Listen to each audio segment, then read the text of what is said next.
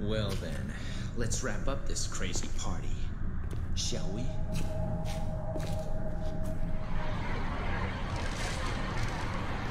Gotta clean up the mess father left behind.